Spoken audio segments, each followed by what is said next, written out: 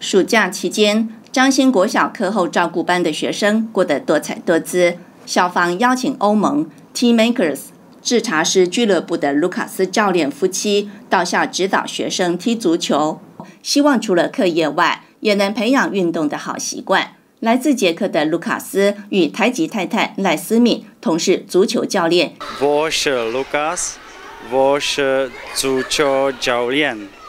我是切个人，因为张兴国小的那个老师，他非常热烈的邀请他们，就是其实他们找很多的资源，想要给小朋友，然后所以他们在体育场找到我们的时候，就是邀请我们来这边，想要为这些课后的小朋友给他们多一点的多一点的课后的帮助，不管是踢足球，还是教他们英文，或者教他们人人品的品格的养成，这样子。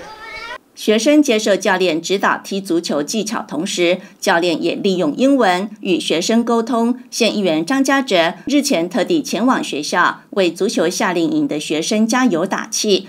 在这个为期两个礼拜的足球夏令营，小朋友一定都玩得很开心。我今天来到这里，我看到他们，呃，在这个比赛的过程当中，呃，不管是学到基本的这个踢足球的技巧，或者是用英文来跟教练沟通，我觉得这个都是对小朋友一个很棒的一个难忘的回忆。那也要感谢我们张兴国小的校长啊，还有老师主任，带带给小朋友这么一个难忘的暑假的。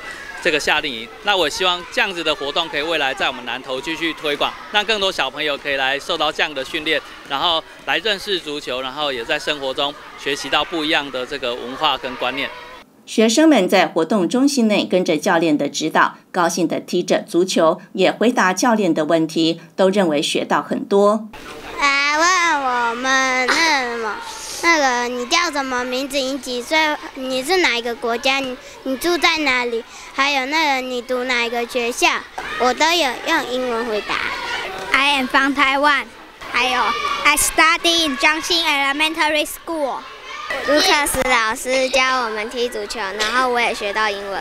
张兴国小暑期课后照顾班学生在为期两周的足球夏令营中，不仅学到踢足球的技巧，也学习到英文基础对话。县议员张家哲希望未来此种模式能推广到其他各校，让学生有不一样的体验。记者王水仙南投采访报道。